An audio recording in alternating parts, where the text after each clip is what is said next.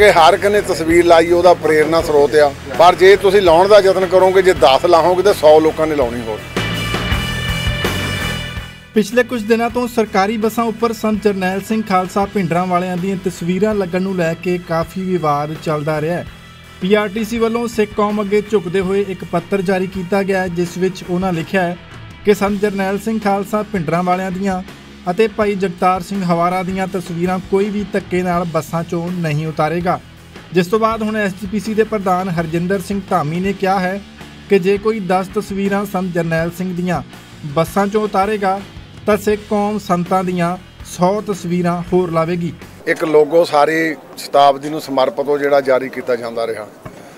ਅੱਜ ਵੀ ਹੁਣ ਤੁਸੀਂ ਦੇਖਦੇ ਆਂ ਵੀ ਗੁਰੂ ਕਾ ਬਾਗ ਤੇ ਸ਼ਹੀਦੀ ਸਾਗਾ ਪੰਜਾ ਸਾਹਿਬ। ਇਹ ਦੋ ਖਿੱਚਦੇ ਕੇਂਦਰ ਆ ਵੀ ਕਿਉਂਕਿ ਰੇਲ ਗੱਡੀ ਥੱਲੇ ਰੇਲ ਉਹਨਾਂ ਨੇ ਰੋਕੀ ਸੀ। ਉਸੇ ਤਰਜ਼ ਦੇ ਉੱਤੇ ਸ਼ਹੀਦੀ ਸਾਕਾ ਪੰਜਾ ਸਾਹਿਬ ਗੁਰਦੁਆਰਾ ਸਾਹਿਬਾਨ ਨੂੰ ਕੀਤਾ ਗਿਆ।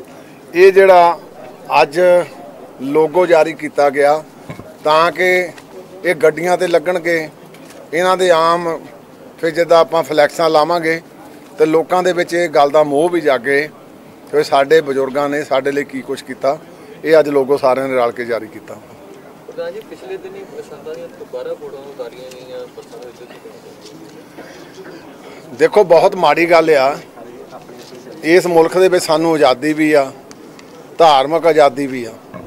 ਪਰ ਜੇ ਕੋਈ ਸਿੱਖ ਉਹ ਮਹਾਨ ਜਰਨੈਲਾਂ ਦੀਆਂ ਤਸਵੀਰਾਂ ਲਾ ਲੈਂਦਾ ਫੋਟੋ, ਤੇ ਇਹਦੇ ਵਿੱਚ ਕਿਸੇ ਨੂੰ ਕੋਈ ਇਤਰਾਜ਼ ਨਹੀਂ ਹੋਣਾ ਚਾਹੀਦਾ। ਸਰਕਾਰ ਨੂੰ ਵੀ ਬੇਨਤੀ ਸਨਿਬਰ ਕਰਦੇ ਆ, ਕਿਉਂਕਿ ਹਰ ਇੱਕ ਨੇ ਤਸਵੀਰ ਲਾਈ, ਉਹਦਾ ਪ੍ਰੇਰਨਾ ਸਰੋਤ ਆ।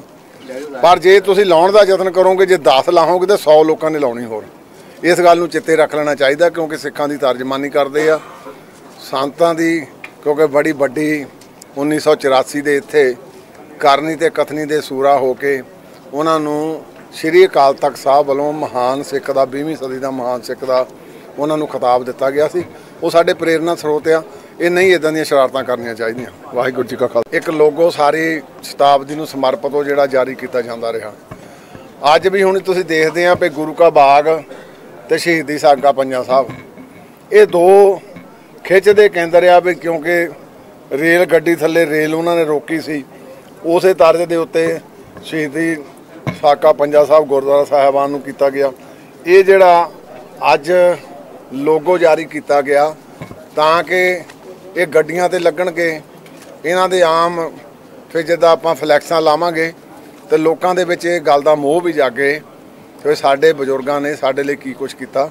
ਇਹ ਅੱਜ ਲੋਗੋ ਸਾਰਿਆਂ ਨੇ ਰਲ ਕੇ ਜਾਰੀ ਕੀਤਾ। ਪ੍ਰਧਾਨ ਜੀ ਪਿਛਲੇ ਦਿਨੀ ਸੰਤਾਂ ਦੀਆਂ 12 ਫੋਟੋਆਂ ਉਤਾਰੀਆਂ ਗਈਆਂ ਬੱਸਾਂ ਦੇ ਵਿੱਚ ਦੇਖੋ ਬਹੁਤ ਮਾੜੀ ਗੱਲ ਆ। ਇਸ ਮੁਲਕ ਦੇ ਵਿੱਚ ਸਾਨੂੰ ਆਜ਼ਾਦੀ ਵੀ ਆ ਧਾਰਮਿਕ ਆਜ਼ਾਦੀ ਵੀ ਆ। ਪਰ ਜੇ ਕੋਈ ਸਿੱਖ ਉਹ ਮਹਾਨ ਜਰਨੈਲਾਂ ਦੀਆਂ ਤਸਵੀਰਾਂ ਲਾ ਲੈਂਦਾ ਫੋਟੋ। ਤੇ ਇਹਦੇ ਵਿੱਚ ਕਿਸੇ ਨੂੰ ਕੋਈ ਇਤਰਾਜ਼ ਨਹੀਂ ਹੋਣਾ ਚਾਹੀਦਾ, ਸਰਕਾਰ ਨੂੰ ਵੀ ਬੇਨਤੀ ਸਨਿਬਰ ਕਰਦੇ ਆ ਕਿਉਂਕਿ ਹਰ ਇੱਕ ਨੇ ਤਸਵੀਰ ਲਾਈ, ਉਹਦਾ ਪ੍ਰੇਰਨਾ ਸਰੋਤ ਆ। ਪਰ ਜੇ ਤੁਸੀਂ ਲਾਉਣ ਦਾ ਯਤਨ ਕਰੋਗੇ, ਜੇ 10 ਲਾਹੋਗੇ, ਤਾਂ 100 ਲੋਕਾਂ ਨੇ ਲਾਉਣੀ ਹੋਰ। ਇਸ ਗੱਲ ਨੂੰ ਚਿੱਤੇ ਰੱਖ ਲੈਣਾ ਚਾਹੀਦਾ, ਕਿਉਂਕਿ ਸਿੱਖਾਂ ਦੀ ਤਰਜਮਾਨੀ ਕਰਦੇ ਆ।